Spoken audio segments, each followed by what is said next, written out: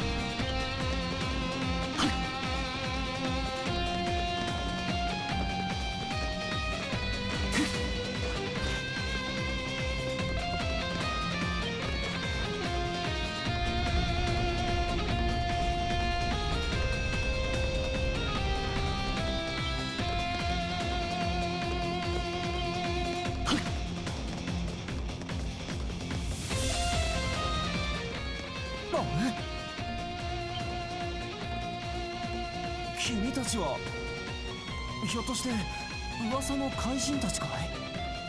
どちら様でしょう？助かったよ。無理やり騎士団に監獄へ連れてこられてさ。ひょっとして騎士団に捕まった方でしょうか？まあそんなところかな。命からがらなんとか逃げ出してきたけど奥にはまだ捕まってる人たちがいるみたいなんだもしかして。お姉ちゃんたちもきっとそこに？その怪人にこんなことを頼めるかわからないけどできることなら彼らを助けてやってくれないかい？あ本当かい？よかった。怪人といっても意外にいい人たちなんだな。それじゃあ待ってる人もいるし僕は外へ向かうとするよ。はい。そのお気をつけて。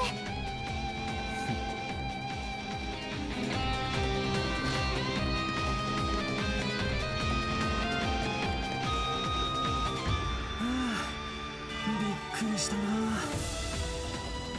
るほど。あれが赤の王か。やれやれ。僕もひどいことを考えるよな。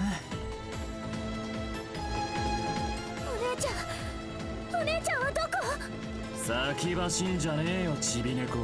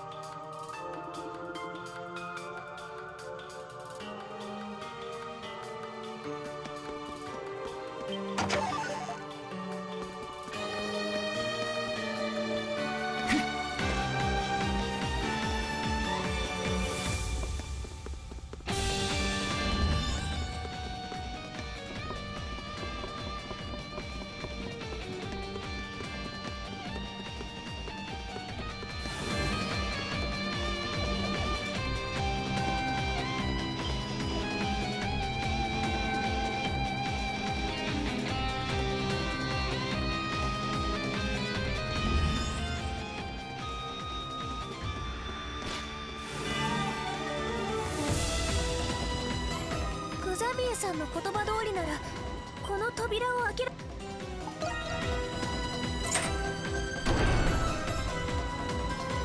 皆さん覚悟を決めてまいりましょう。ここで一息つこうか。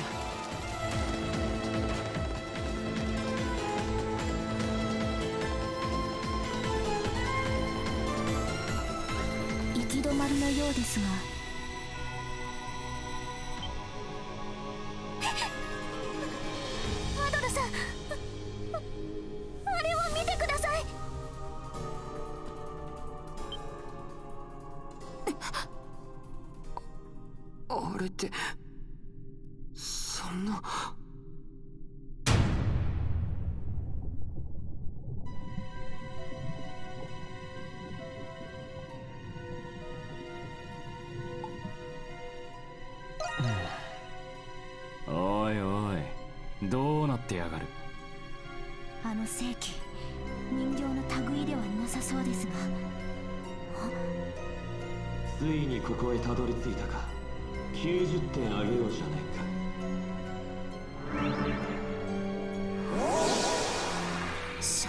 団長。あのアドルさんは一体何なのさ？以前君たちに約束したことを覚えているか？私が口で説明するより見てもらった方が早いだろうと。そして今時は満ちた。約束した通り。真実をお見せしようではないか。脳書きはいい。さっさと聞かせてみろや慌てるなクレドよ物事には順番というものがまずアドル君錬金術という言葉はご存知かな？ああそう。かつて君がサンドリアでも触れた古の技術だ。錬金術ってもしかして。シュール君知ってるの？100年戦争前後のグリアで盛んだったとされる学問さ何の変哲もない物質をあらゆる手段で黄金に変える研究だったらしい。黄金だと？おいおいずいぶんうさんくせえ話だな。でもその研究は科学や薬学をはじめ他の学問に大きな影響を与えたんだ。その後眉唾者だったとされ歴史の闇に埋もれていったけど。それだけでは50点だ。まず錬金術が目指したのは金属や物質の連成だけではない。人の肉体や魂をも対象としてそれらを完全に再現する技術を指す。あ？人の肉体や魂まで。そして当時一人の学者がその技術を完成させていたのだ。そんなバカな。もしかしてこの施設ってその錬金術の。ご名答。ここは錬金術によってホムンクルスを作る施設だ。嘘よね。さすがに。ですがもう一人のアドルさんに関してはそれで説明がつくかもしれません。あのアドルは錬金術とやらで作り上げたってことか。またしても50点だ。あ？なんだと？あそこにいるのが正真正銘不正室の冒険家であるアドル君だ。そして彼をもとに連成されたのが君だよ。赤の王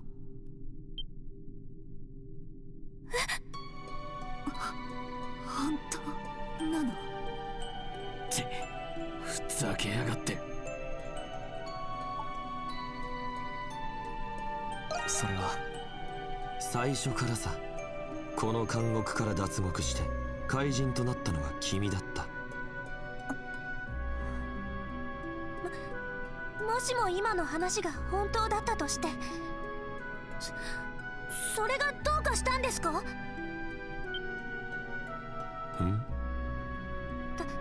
確かに錬金術とアドロさんのことは驚きました。でも赤の王さんが私たちの仲間ってことに変わりはありません。そそんな話で私たちを揺さぶろうとしたって。ギリシャちゃん。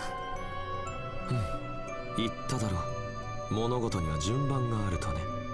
この話には続きがある。むしろこちらが本題と言うべきか。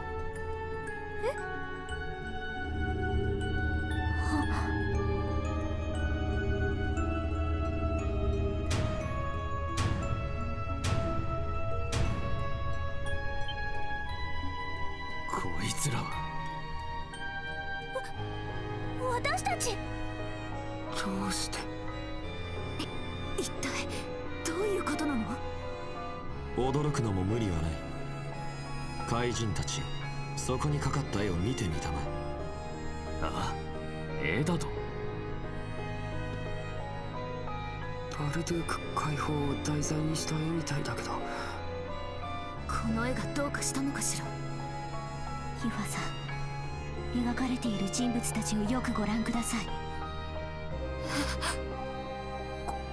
これってもしかして僕たちそそれに真ん中の人物は聖女ロスビータいやアプリリスさん今に伝わる銅像や肖像画より忠実に描かれたものだそうだよ。周囲の人物は百年戦争時代に聖女の下で活躍した英雄たち。そう君たち4人は彼らのホムンクルスなのだ。私たちが？ででも100年戦争って500年以上前のことだけど。この監獄がいつからあると思っているのだね？そんな。だから俺たちは孤児や養子だったりするわけか。それじゃあアプリリスさんはやっぱり。聖女のホムンクルスってことだな。100点。ご名答だ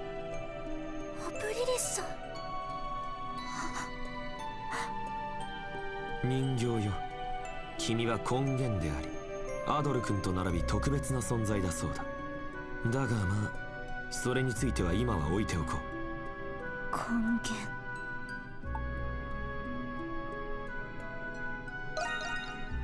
以前にも話した通りこの地を我らの手に取り戻すことだ。様々な分野で卓越した知見や類まれなる才能を持つ人材たち。錬金術の力があれば彼らを複製して操ることが可能となる。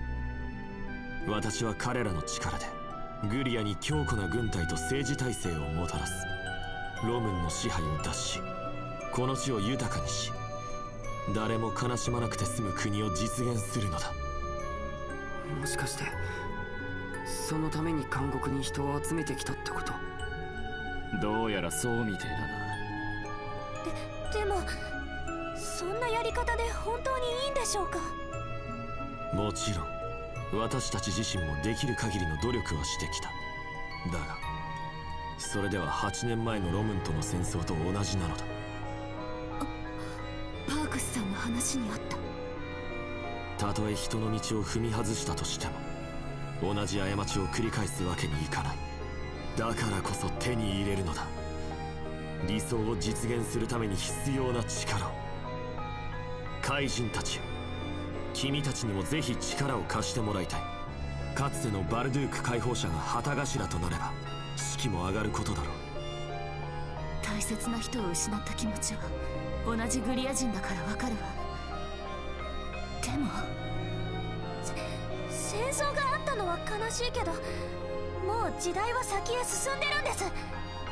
ロムンの人たちだって悪い人たちばかりじゃありません。今のバルドゥークにあったやり方がありそうな気はするよね。私も両親を亡くしたけど少しずつそう思えるようになったわ。力の行使は否定しねえ。だがシャトラールてめえの話はワクワクしねえな。少なくともてめえと組むよりやり合う方がはるかに楽しそうだぜ君たちの考えは分かった。君たちとなら共有できると思っていただけに。残念だよ。ちなみにアドル君。いや。赤の王はどうかね。なるほど。複製であっても君は冒険家なのだな。ならば君たちはもはや私の障害ということになる。障害は消去して私に従順な英雄として再錬成させてもらおう。そんなことが可能なのですか？言ったはずだ。